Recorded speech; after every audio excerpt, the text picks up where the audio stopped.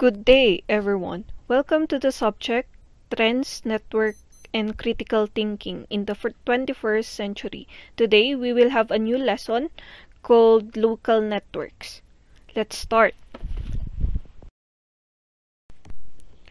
At the end of the module, the student should able to first describe the meaning of network, next identify the different ways to analyze networks, and lastly, illustrate their own network.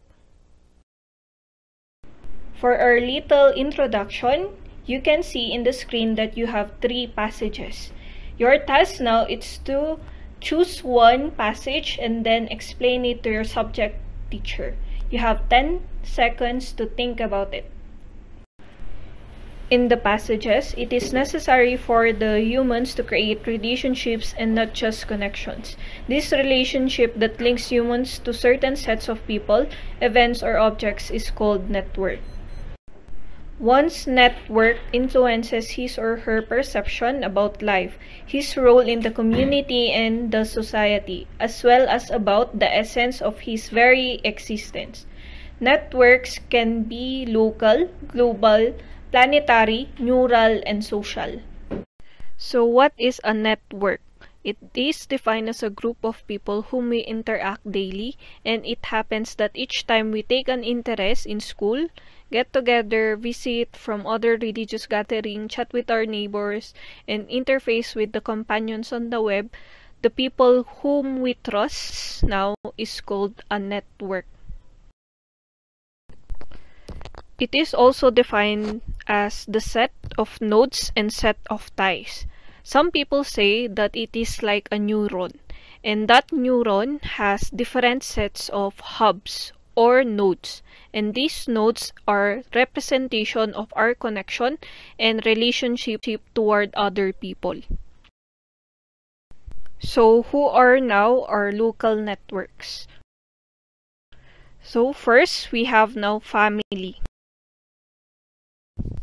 Based in our 1987 Philippine Constitution, family is a basic autonomous social institution. It is also considered as the foundation of the nation. And lastly, it is the basic institution which public policy ch cherishes and protects. Family relations include husband and a wife, parents and children, ascendants and descendants, brothers and sisters, whether full or half, and others. For modern sociologists, they have a broader definition of family, which extend to the concept that includes anyone who is part of the family, such as friends, special someone, or pets. For example, friends are the family that we choose for ourselves. It is considered still as an essential local network and support system. In 1987 Philippine Constitution, a state is a community of persons more or less numerous permanently occupying a definite portion of territory independent of external control and possessing an organized government to which the great body of inhabitants render habitual obedience. In your module, you can see now the different levels of the government. So we have barangay, bayan, probinsya, and then country or state. So, trivia, barangay came from the word balangay. It is considered an ancient boat national boat of the Philippines, used by the first settlers central in trading. So how do we determine now networks? Networks are analyzed in terms of five things. First is density, hierarchy, embeddedness, interdependence, and lastly, multiplexity. So first, let's discuss density. Density tells us how concentrated or crowded something is. For example, our different population in the different networks. The more the number, the more the density. The next is hierarchy. It is defined as the system or organization in which people or groups are ranked one above the other according to the status or authority. Sometimes people include also the charisma and power. Hierarchy also describes a system that organizes or ranks things. often according to the power or importance. Usually, the examples of this are the social class that we can see now in the Industrial Revolution and the famous one, the caste system in India. In the Philippine setting, we have also our own kind of caste system. For example, we have the concept of Datu, Timawa, and then the alipin. Aliping sa gigilid and aliping na mamahay. The next is interdependence. It is defined as the mutual dependence between things. Inter means between. We often use interdependence to describe complex systems like marriage, being a girlfriend or boyfriend, or also having a pet. Sometimes we reason out that, that we cannot live with each other. So if you have a dog that provides you love and happiness, you also provide your dog with food and walks. And at the same time, you are intertwined with the relationship.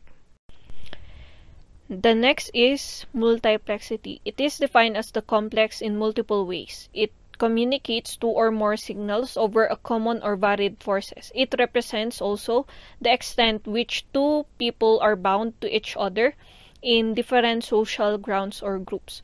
For example, the connection of a person to another person.